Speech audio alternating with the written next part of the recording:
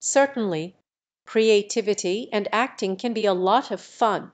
If you have a particular role or character in mind, you can start by imagining yourself in that role and thinking about how the character would move, speak and behave.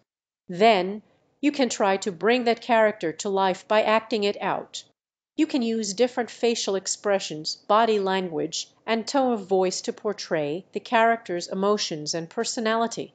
Remember that acting is about expressing yourself and telling a story, so don't be afraid to be bold and take risks.